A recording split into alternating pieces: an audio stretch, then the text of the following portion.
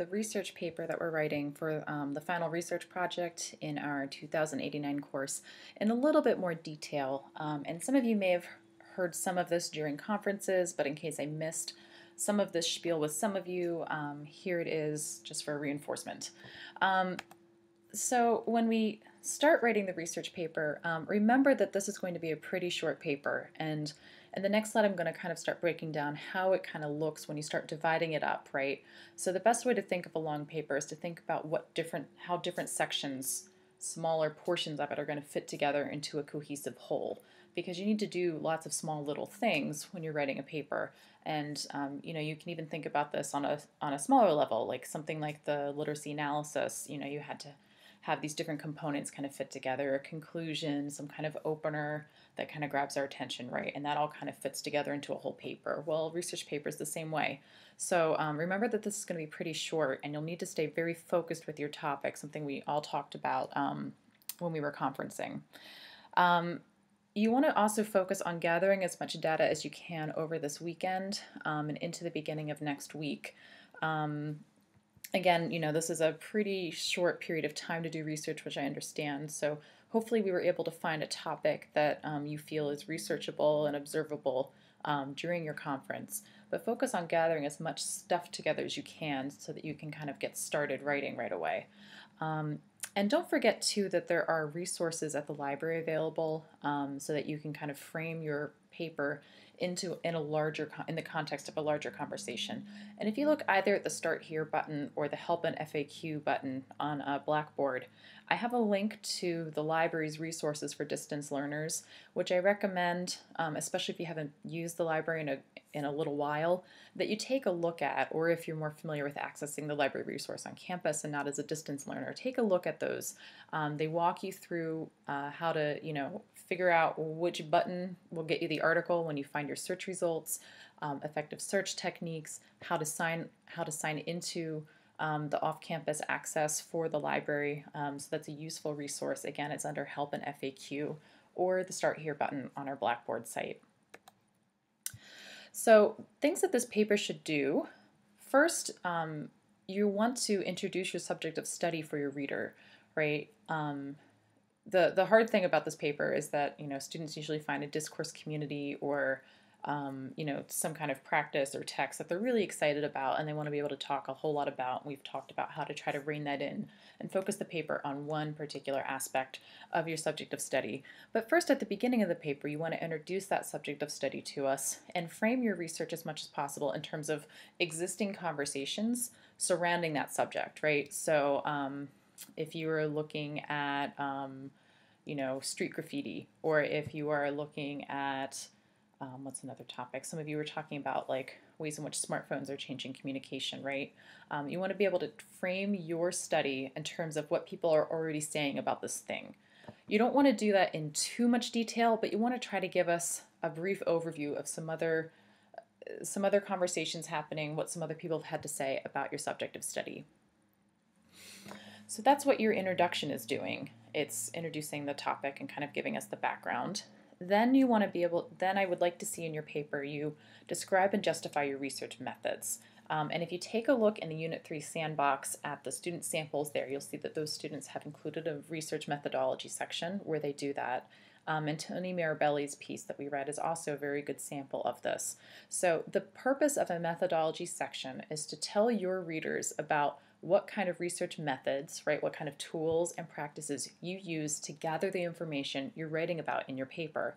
And this is really important to do because the ways in which we gather information shape the kind of information we end up with. And we saw this happen when we were looking at um, the interviews by Terry Gross in Stephen Colbert with Maurice Sendak, right? So I had you look at two different interviews of the same person, and I'll bet you came away with a different sense of who Maurice Sendak is as a person and what his work is all about based on those two interviews, right? So the ways in which we conduct research rhetorically shapes the kind of information we have. So it's very important to be transparent about how you've conducted your research so that your reader is able to kind of contextualize what you've done and see why it kind of is shaped the way it is. So when you do that, this last bullet point is is what you're doing. Describe what you observe. Oh, I'm sorry. No, this last bullet point is um, then after you've talked about your research methods, then in the body of your of your paper, which is you know the last four to six pages after you've done those first two things of introducing your subject and describing your methods. The last four to six pages are you describing what you've observed and analyzing what it means or reveals, right? Getting into those hows and whys. So really this paper kind of breaks up into pretty short sections. So again, focus, focus, focus. One small thing that you can tell us about the subject of study. I know you found something you're excited to research. Try to write it in as much as possible. Um, and, and something to think of too is that, you know, I think for a lot of you, um, I, I am assuming that most of you have not conducted very much primary research in college so far. Most college courses ask you to conduct secondary research where you see what other people have gathered, other people have, have found out through firsthand observation, and then you draw that together and report on that. So it may kind of feel foreign to be working with firsthand research, but what I want you to remember is that you're using the data that you gather in the same way you would use secondary research. You're using it to support your arguments and claims and to show us what you've found. So you want to be able to develop a good level of detail so that when you claim that, you know, um, you know, that emails are changing and now kind of look more like text messages, you need to be able to justify that with and convince us with details, with what you're seeing, with what other people are saying about how they use them. So you're using your research to as evidence to back up what you're saying, just like you do with secondary research. Um, and what can really help, a lot of you are kind of talking about something where it would really help to see the texts that you're talking about or to see visuals of um, some kind of site that you're observing. So do try to include as many artifacts as possible, right? Pictures, you could include video, you could include sound clips of an interview if that's helpful.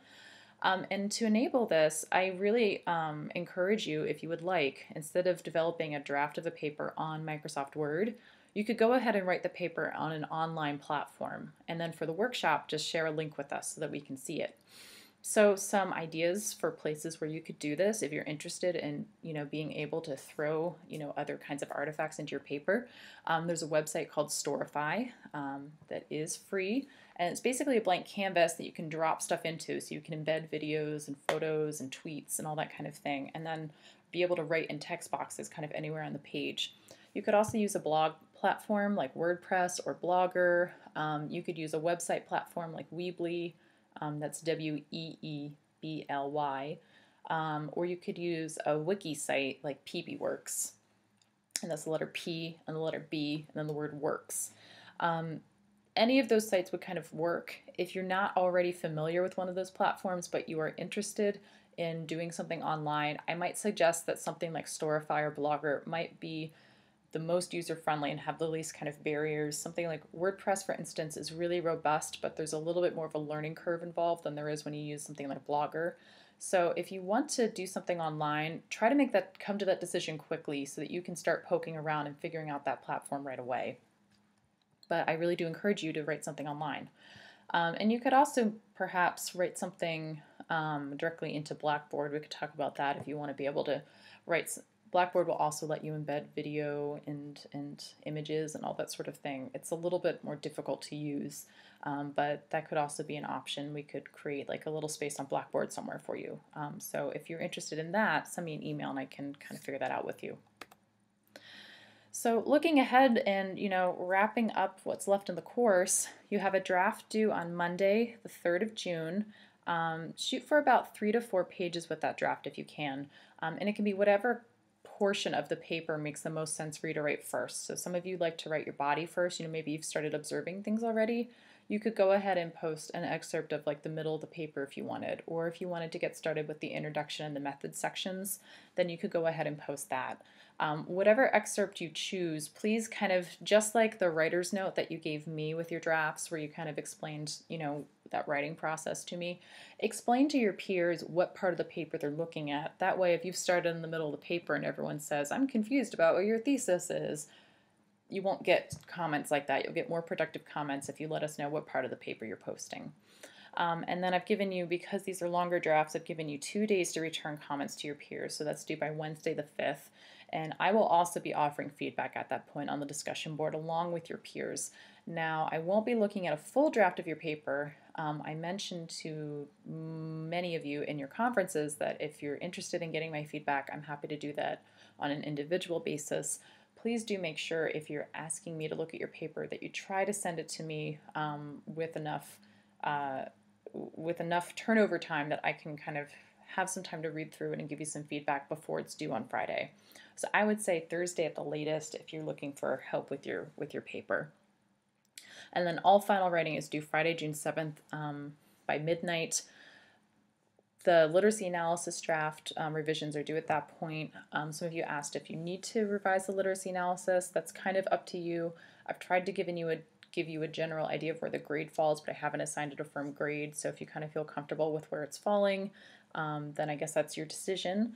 Uh, the genre analysis, when I return that, it will have both a grade and comments. You can kind of make your decision as to whether or not you want to revise that piece. And then the final research paper in its full and final form will be due at that time as well. Um, so that's all I have. If you have questions, um, please don't hesitate to get in touch, and I look forward to seeing your drafts next Monday. Thanks.